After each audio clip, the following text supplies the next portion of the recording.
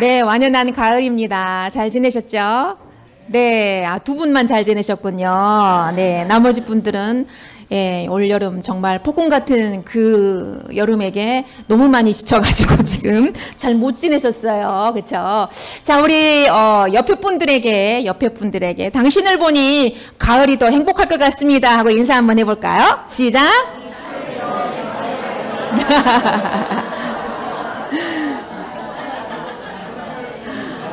네, 좋습니다. 네, 너무너무 좋습니다. 예, 그렇습니다. 우리 사업은 우리의 인상이 바뀌면 우리 인생이 바뀌고, 네, 우리의 인상이 바뀌면 우리 사업도 술술 풀립니다. 저 한번 따라 해 보실래요? 내 인상이 바뀌면 우리 사업은 술술 풀립니다. 내가 이뻐지고 건강해지면 우리 사업은 술술 풀립니다.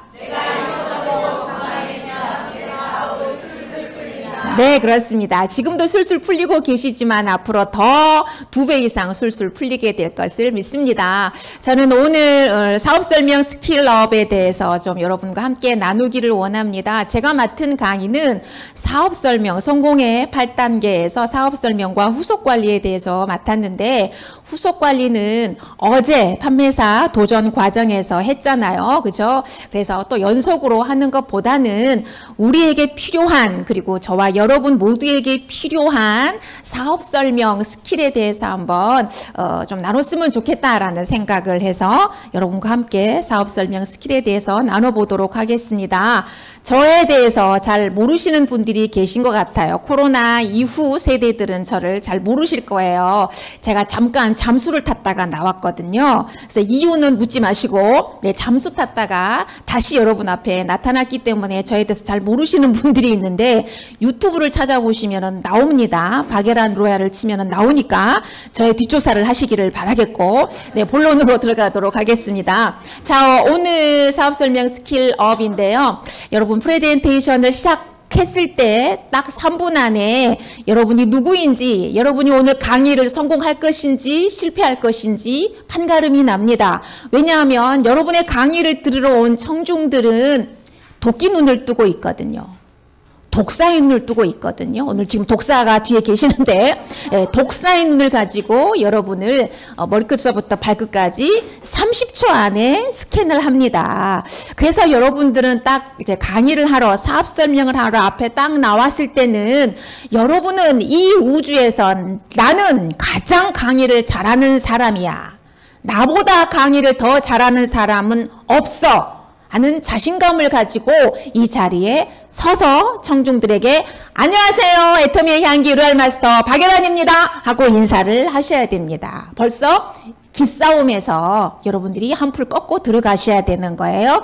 그래야 청중이 아 오늘 뭔가 좀 대박이 날 것 같다라는 조짐을 가지고 긍정적인 마인드로 강의를 듣기 시작을 합니다. 그런데 여러분들이 만약에 앞에 나와가지고 우물쭈물 우물쭈물 나와가지고 아 나 강의 잘 못하는데 강의를 시켜가지고 제가 오늘 아 떨려가지고 강의 준비도 못하고 했는데 아 오늘 어떻게 해야 될지 모르겠어요. 그럼 여러분 같으면 강의를 듣겠어요? 안 듣겠어요? 안 듣죠. 그, 그럼 너 뭐하러 나왔니? 이렇게 되는 거예요. 아 그럼 너 집에 있지 뭐하러 나왔어? 나 지금 금쪽 같은 시간을 할애해가지고 내가 지금 강의 들으러 왔는데 아, 난너 같은 사람한테 강의 듣고 싶지 않거든? 이렇게 되는 거예요. 그래서 여러분 강의하러 사업 설명하러 딱 나왔을 때는 이 우주에서 어떻게 생각해야 된다고요? 나보다 강의를 잘하는 사람은 없다. 라고 자신감으로 장착을 하고 나오셔야 돼요. 그래야 3분 안에 여러분의 강의를 들으러 온 청중을 제압할 수가 있고 여러분은 강의를 스타트에서부터 끝날 때까지 완벽하게 강의를 마칠 수가 있습니다. 그래서 이것을 여러분 반드시 숙지하시고 아 3분 안에 내가 게임 끝내야 된다라는 생각을 하시고 사업 설명을 시작하시기를 바랍니다. 자 그러면 우리가 이제 스피치, 강의, 설교, 강연 이 모든 것들을 한 마디로 한 단어로 스피치라고 얘기를 합니다. 네, 스피치는 내가 가진 컨텐츠로 상대방을 뭐 하는 거라고요? 설득하는 거예요. 설득하는 겁니다. 그래서 여러분 설득의 정석이라는 책이 있고 어떻게 해야 청중을 설득하고 어떻게 해야 고객을 설득할 수 있는지 설득에 대해서 여러분 공부를 좀 하셔야 돼요. 왜냐하면 여러분들은 강사이니까. 여러분이 가진 컨텐츠는 뭔가요? 다단계라고요? 네. 어, 네. 아, 나 저는 이런 답은 처음 들어봤습니다. 어, 네. 여러분이 가진 컨텐츠는 다단계군요. 네. 맞습니다. 다단계잖아요. 그쵸? 저와 여러분들이 가지고 있는 컨텐츠를 한마디로 말해라 그럼 다단계예요. 그죠? 네, 애터미라는 다단계입니다. 그죠? 우리는 애터미라고 하는 다단계라는 컨텐츠를 가지고 고객을 설득하는 일을 하는 것이 나의 역할이에요. 사업 설명을 하는 강사의 역할입니다. 이건 기본적으로 여러분 아시고 계셔야 돼요. 자, 그러면 남을 설득하는 데 있어서 상대방의 눈높이에 맞춰서 상대방의 언어로 설득을 해야 된다라고 하는 거예요. 그런데 제가 애터미 사업 제가 13년째 하고 있는데 수많은 강사들을 제가 이렇게 봤고 경험을 했잖아요. 그런데 거의 대다수의 강사들이 나의 언어로 상대방을 설득하려고 하더라는 거예요. 그러니까 설득이 될까요? 안 될까요? 설득 안 됩니다. 오늘 사업 설명 들으러 온 그 고객은 애터미에 대해서 알까요? 모를까요? 몰라요. 몰라요. 전혀 몰라요. 전혀 모르는데 마치 다 나만큼 아는 것처럼 제가 애터미 비즈니스 13년 했다고 했잖아요. 13년 한 만큼의 그런 어떤 그 내공을 가진다라고 생각을 하고 그분에게 강의를 하는 거예요. 그러면 이 마치 대학 교수가 유치원생에게 강의하는 것과 똑같은 거예요. 그 유치원생이 알아들을까요? 못 알아들을까요? 못 알아들어요. 울어요. 심지어 한 1분, 한 2분 정도 지나면요, 이제 울어요, 애가. 너무 힘들어가지고. 마치 그 청중도 울고 싶은 심정이 되는 거예요. 여기는 어디지? 내가 지금 여기 왜 와 있지? 어, 나 가고 싶다. 이런 생각이 이제 들기 시작하는 거. 전혀 이해가 안 되고 못 알아듣겠으니까. 그래서, 어, 여러분, 반드시 사업 설명할 때는 오늘 처음 온 고객에게 강의를 하는 거예요. 자, 따라해 보실래요? 나는 오늘 처음 온 사람에게 강의한다. 네, 오늘 처음 온 사람, 이 센터가 지금 굉장히 넓어서 약 200명 정도가 앉을 수 있잖아요. 그 200명 중에 오늘 처음 온 사람이 딱 한 명이에요. 그러면 누구에게 포커스를 맞춰서 강의해야 될까요? 199명일까요? 한 명일까요? 그렇습니다. 한 명에게 포커스를 맞춰서 강의를 해야 되는 거예요. 그런데 우리는 거꾸로 생각하죠. 그죠? 거꾸로 생각해요. 처음 온 사람은 한 명이니까 199명이나 되는데 그럼 내가 199명에게 맞춰가지고 강의를 해야지. 그러다 보니까 오늘 오늘 한 명이 초대돼 가지고 임페리얼 마스터가 될 사람인데 그분이 강의를 제대로 이해를 못해 가지고 그냥 가버린 거예요. 이만큼 엄청난 손실이 어디 있을까요? 그러니까 어마어마한 손실인 거예요. 어마어마한 마이너스인 거예요. 그래서 강사는 어, 시스템 강의가 아니고 사업 설명입니다. 네, 사업 설명할 때는 반드시 오늘 처음 온 사람이 나의 손님, 나의 청중이다라고 생각을 하시고 강의를 하셔야 된다라고 하는 거예요. 그래서 남을 설득하려면 상대방의 눈높이가 아니라 그 사람의 언어, 그 사람의 언어로 얘기를 해야 되는 거예요. 자, 이게 소크라테스가 이런 말을 했고요. 아인슈타인이 굉장히 중요한 말을 했어요. 여섯 살짜리가 이해를 못한다면 다 이해 못한 거다. 여섯 살짜리가 이해를 못한 거면 다 이해를 못한 거다. 여러분 아인슈타인 다 아시죠? 그죠? 아인슈타인 다 천재 물리학자잖아요. 천재 물리학자이니까 강의를 어떻게 해야 되겠어요? 여러분 초뷰카시 때 읽어보셨어요? 완독하신 분. 완독하신 분. 이거 봐요. 완독하신 분이 세 분밖에 안 계셔요. 그럼 여러분들은 왜 완독을 못 하셨어요? 예? 못 알아들으니까. 그래, 맞아, 솔직히. 뭔 말인지 모르겠어, 도대체가. 그러니까 한 장에서 못 넘어가. 그래서 다시 처음부터 다시 읽어. 이게 뭔 말이지? 다시 처음으로 돌아가가지고 다시 읽어.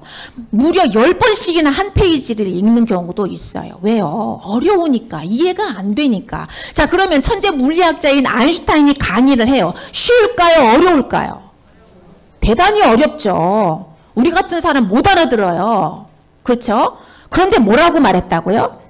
여섯 살짜리가 못 알아들었다면 다 못 알아듣는 거다. 다 이해 못한 거다.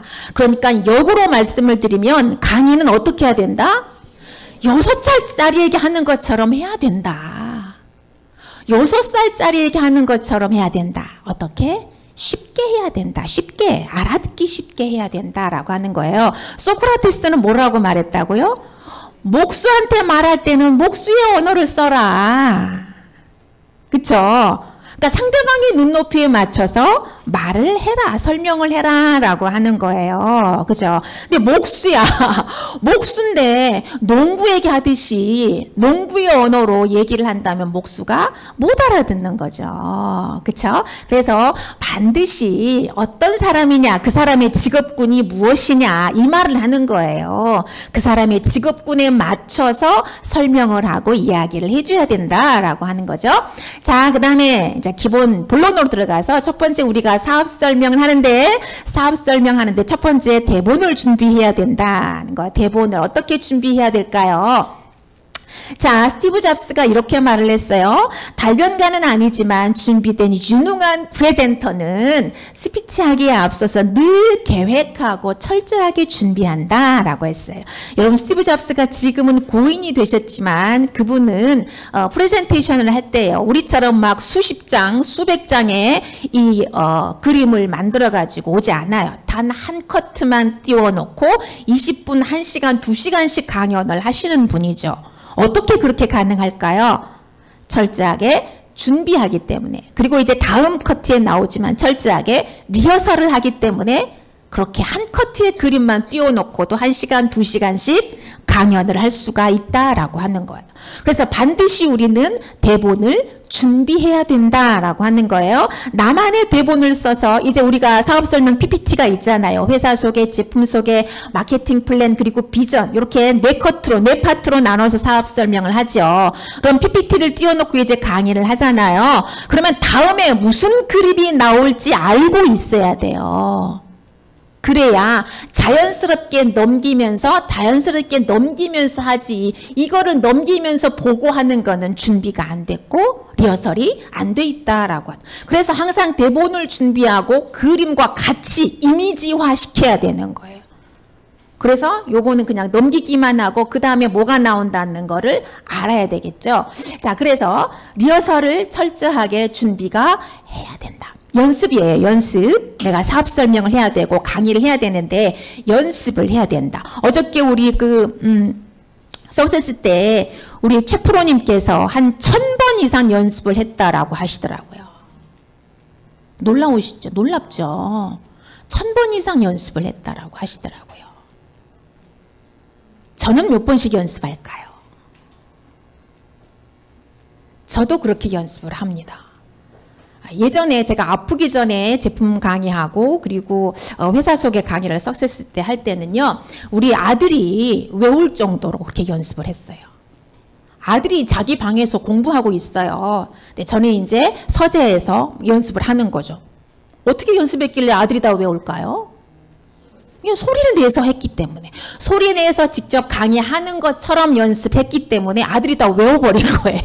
뭐 너무 많이 들어가지고 엄마 틀렸어 이러는 자기 방에서 듣고 있다가 엄마 그거 아니지 이럴 정도로 연습에 연습에 연습을 하고 무대에 올라갑니다. 그래도 아무것도 안 보여. 아무것도 안 보여요. 그쵸? 최 프로님 아무것도 안 보이셨죠? 아무것도 안 보여요.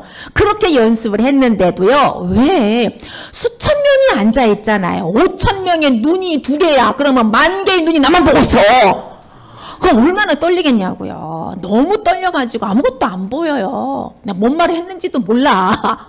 그러니까 여러분 연습에 연습을 해야 된다. 는 거예요. 연습을 해야 된다. 자, 그래서 자기가 맡은 분야에 대해서는 거침없이 말을 해야 프로가 되는 거예요.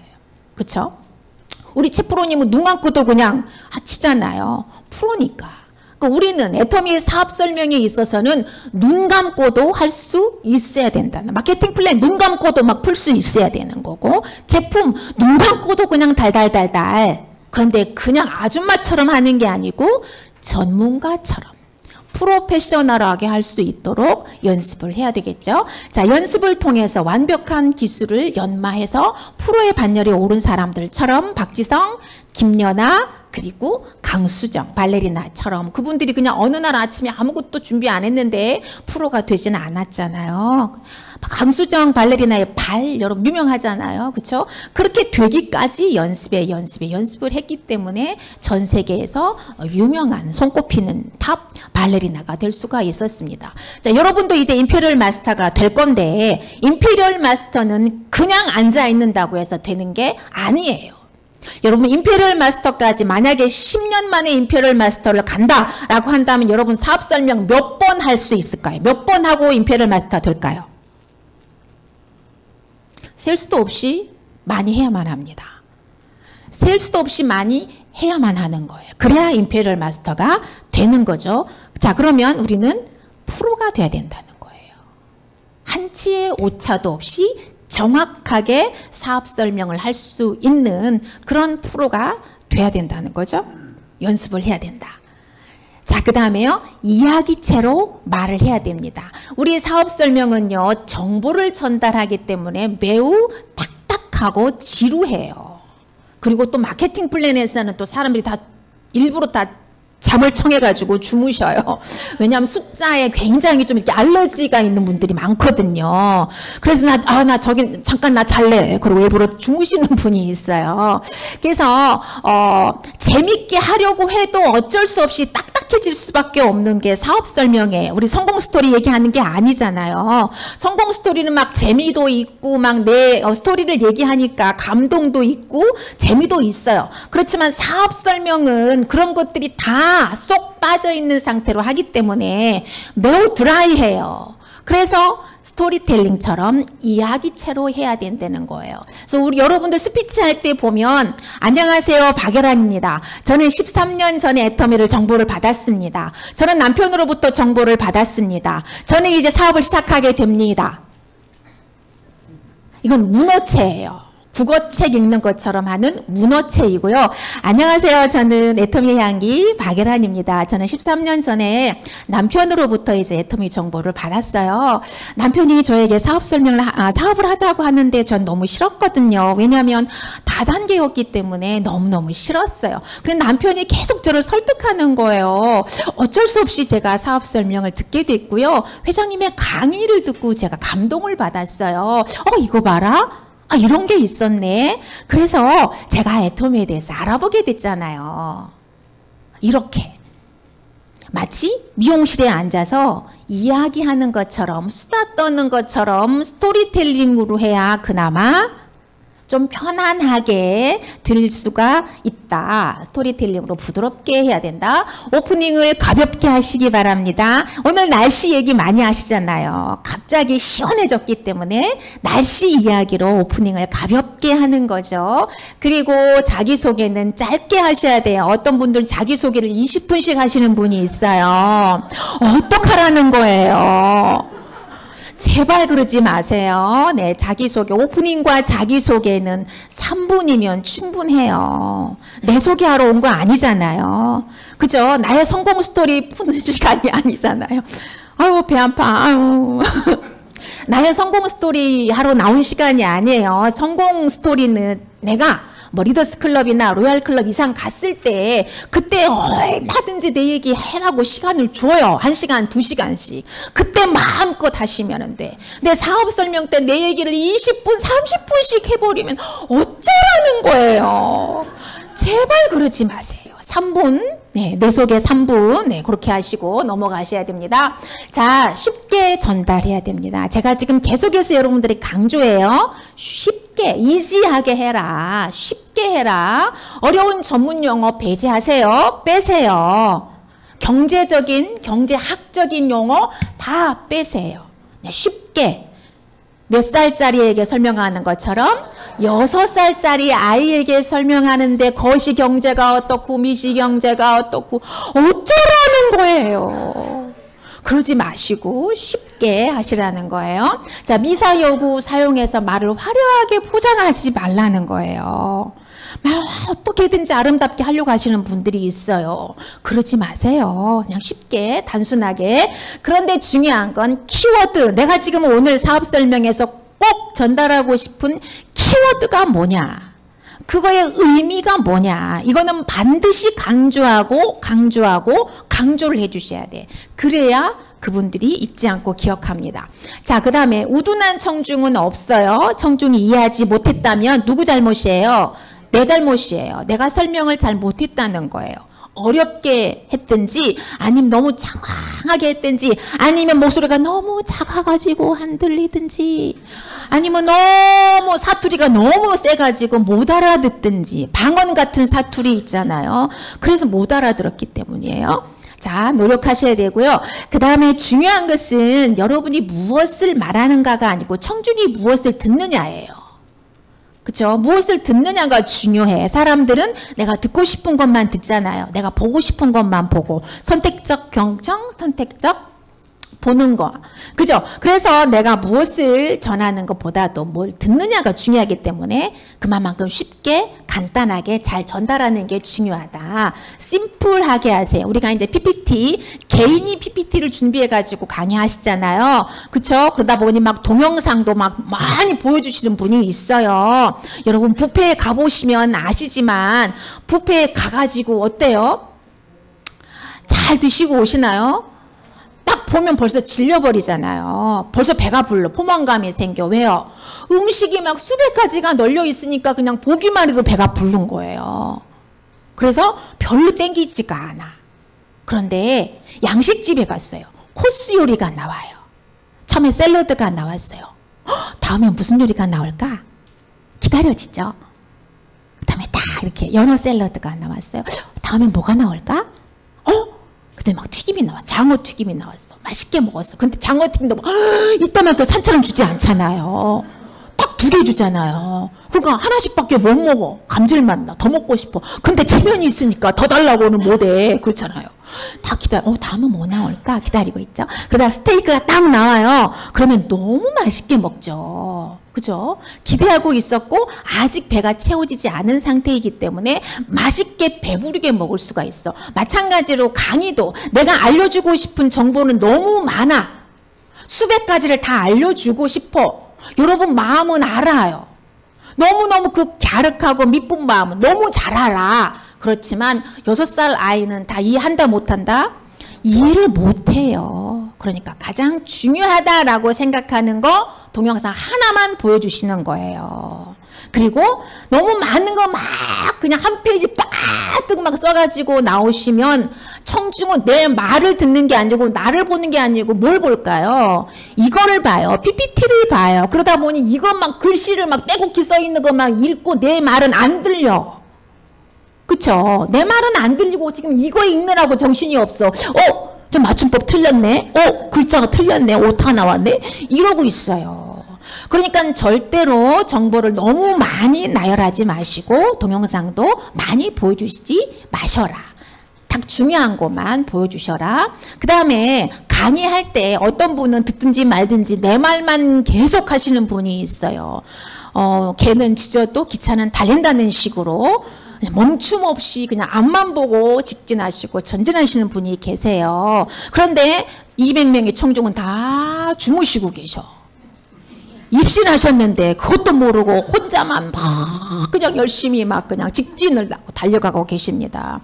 여러분 강의하실 때 반드시 청중에게 집중하셔야 돼. 이 말이 무슨 말이냐면 이 지금 청중이 내 강의를 잘 듣고 있는지 나에게 지금 잘 빨려 오고 있는지 잘 흡수되고 있는지 내가 원하는 대로 지금 계속 잘 따라오고 있는지 집중하셔야 돼요. 그래가지고 집중 안 한다?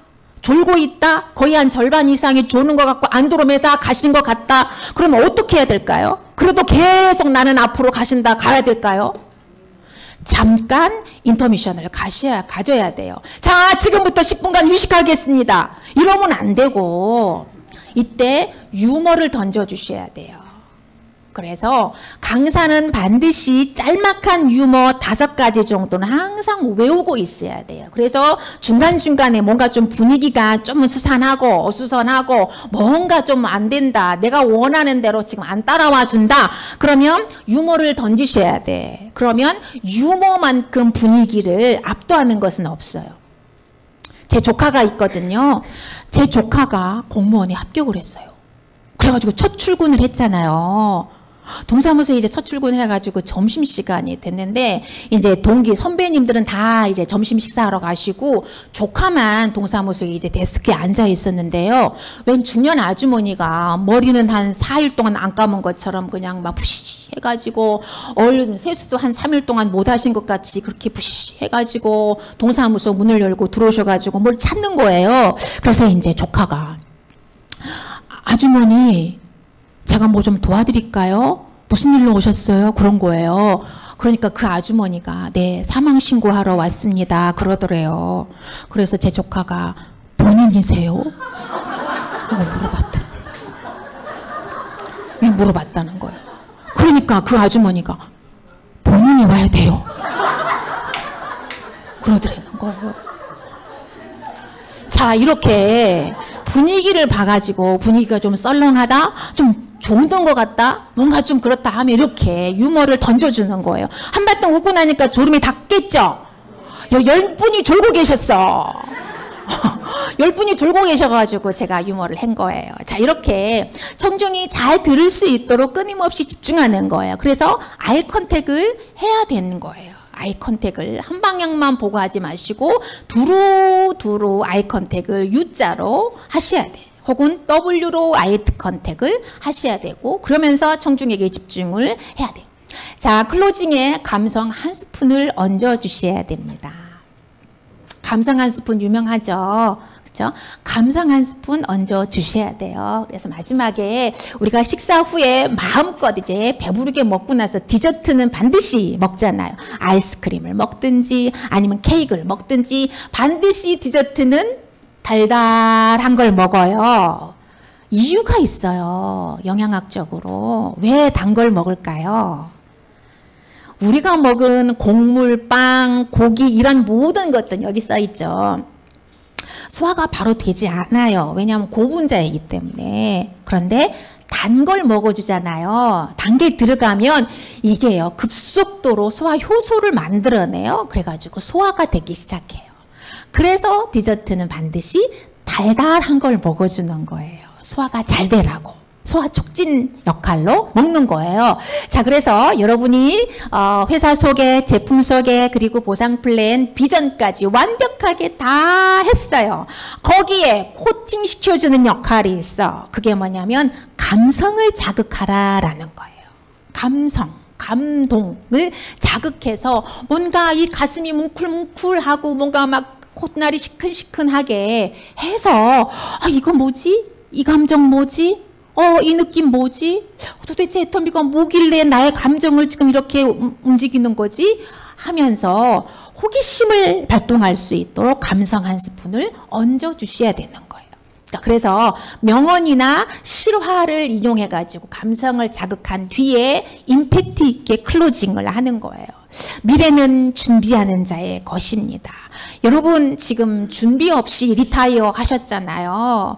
여러분 직장 생활 하실 때 여러분 연금 얼마 받으셨어요? 어, 연봉 1억 이상 받으셨잖아요. 그럼 여러분 직장 생활 하셨지 직업이 있는 건 아니었습니다. 여러분 직업을 가지셔야 되는 거예요. 애터미는 여러분에게 직업을 드리는데 평 생 직업을 드립니다. 여러분 준비하시기를 바랍니다. 기회는요 새와 같아요. 오늘 여러분 수많은 시간이 오고 정보가 오지만 이것을 여러분 잡지 않으면 새처럼 후두둑하고 날아가 버리는 거예요. 여러분 절대 놓치지 마시고 오늘 여러분에게 온 이 기회를 확 잡으시기 바라겠습니다. 감사합니다. 하고 이렇게 마칩니다. 음, 끝난 거 아니에요? 네. 네. 끝난 거 아닙니다. 네, 이렇게 마치는 거죠. 네. 여기 뭐 장황한 설명하려고 하지 마시고. 자, 자, 이제 정리를 해보겠습니다. 사업 설명 skill up. 자, 쉽고, 짧고, 명쾌하게, 거기에 감상 한 스푼. 자, 여러분 따라해서 해보실까요? 쉽고, 짧고, 명쾌하게, 감성 한 스푼을 얹어주세요. 네, 그래서 사업 설명 시간 1시간 10분을 넘기지 않도록 해주시면 좋습니다. 여러분 아시잖아요. 여러, 요즘은 스피드 시대예요. 패스트 푸드 시대예요. 그래서 너무 빨라. 가, 동, 이 동영상도 10분이 넘어가면 안 봐요. 그래서 쇼츠 영상이 요즘은 또 대세잖아요. 1분짜리, 1분 20분도 길어 요즘은. 그런데 사업 설명을 2시간, 3시간씩 하시면 어쩌라는 거예요. 안 와요, 다음에는. 다음엔 절대 안 와요. 그래서 반드시 가능하면 짧게, 짧게 하셔라. 콤팩트하게 하셔라. 그래서 오프닝 5분, 음, 회사 소개 10분, 제품 소개 15분, 보상 플랜 20분, 비전과 나의 꿈 반드시 말씀해 주셔야 돼요. 나의 꿈 10분, 그리고 클로징 5분. 이렇게 해서 1시간 5분 이거든요. 여기에 조금씩 더 붙인다면 1시간 10분 정도가 될 거예요. 그런데 이것을 우리가 혼자 하면 지루할 수가 있어. 듣는 사람 입장에서는 지루할 수가 있어서 파트를 둘로 나눠서 처음 회사 소개와 제품 그다음에 어, 어떤 한 분이 하고 그 다음에 2부 두 번째로 보상 플랜과 비전 이렇게 두 파트로 나눠서 강사가 두 명이 나눠서 하시면 훨씬 더 어, 이렇게 버라이어티해 보이고 비주얼 차원에서도 어, 청중들을 배려하는 차원에서도 두 파트로 나눠서 하는 것이 훨씬 더 좋습니다. 자 그래서 복습해 보면 첫 번째 대본을 준비하시고 리허설 철저히 연습하시고 이야기체로 하시고 오프닝 가볍게 하시고 자기소개 짧게 하시고 그 다음에 쉽게 전달하시고 심플하게 하시고 청중에게 집중하셔야 된다. 그 다음에 감성을 자극하셔라. 요게 이제 오늘 제가 강의했던 내용을 어, 짧게 요약하면 이렇습니다. 여러분 모두 여러분도 최고의 명품 스피커가 될 수 있습니다. 들어주셔서 감사합니다.